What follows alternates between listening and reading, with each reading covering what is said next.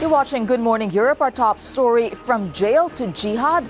Belgium is facing questions over the release of an allegedly radicalized convict just days before he killed three people in a suspected terrorist attack. One was a mother of twins. Now, long before news crews arrived on the scene of the attack in Belgium, a lot of videos, a lot of images were appearing on social media. Now, our team in the Cube, our social media news desk, you've been tracking this story, Alex, right? Absolutely, Tesa. So, as of about 10.35 Central European time yesterday, our team here who are monitoring all social media platforms started noticing activity coming from uh, Liège in Belgium. So, and uh, that roughly now we know tallies with the official time the incident began. Police and authorities there saying around 10.30.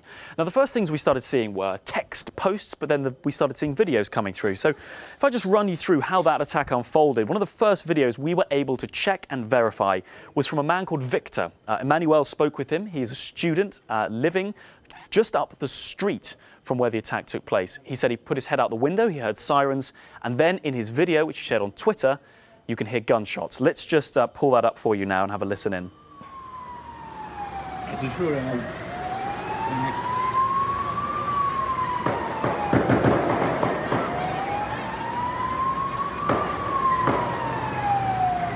So you can hear that a succession of gunshots there in that video. That video posted um, by Victor.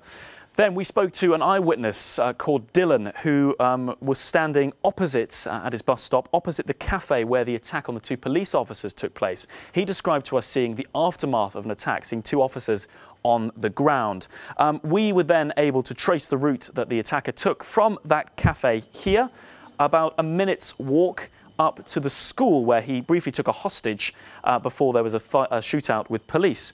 Now, we used uh, satellite imagery to have a look at the frontage of that school building so we could compare it with the videos and the photos we were seeing, which uh, purported to show the confrontation with police. We had a look at this frontage here, uh, and then we compared that with a video that was um, shared to us. We have spoke to every individual who posted these videos, um, and this video here it's ever so slightly blurry. Obviously, this is taken during a live incident, but this um, is identified as the front of that school with police officers, um, ever so small figures in this screen here, but moving in this just moments before the final confrontation with the gunman. We cleared these videos, we geolocated them, we checked the time codes to make sure that what we present to you here in the Cube and on Euronews is uh, the facts. So the latest there, looking back on the timeline from yesterday.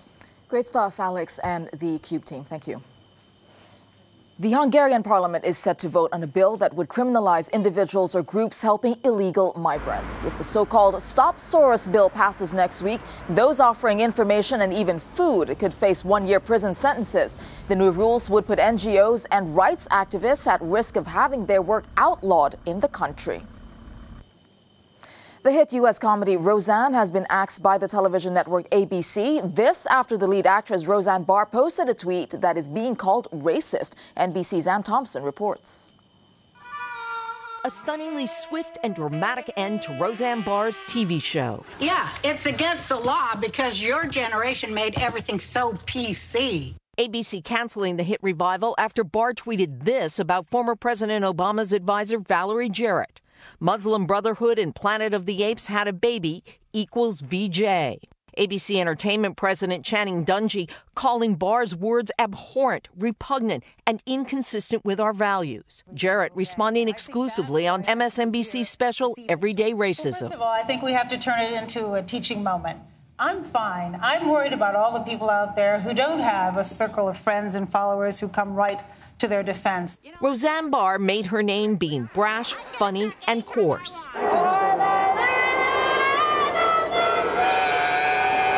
Thank you for making America great again. Her return to network TV welcomed by 18 million viewers and President Trump. Look at Roseanne. I called her yesterday. Look at her ratings. On Twitter, Barr promoted conspiracy theories and attacked Democratic women, Nancy Pelosi, Chelsea Clinton, even making a similar comment about Obama's national security advisor, Susan Rice, in 2013. Still, ABC stood by Barr until now. Networks should be more careful about who they allow uh, to top their most prestigious shows. And there should be an understanding of where the line is and that open racism is not tolerated. Before the cancellation, Barr apologized in two tweets, calling her remarks a bad joke and saying, I should have known better. It wasn't enough. Today, Roseanne Barr learned words do matter. Ann Thompson reporting there. And still to come for you on Good Morning Europe, ancient bones reveal new secrets about Pompeii. The Cube has amazing pictures. But before that, your weather.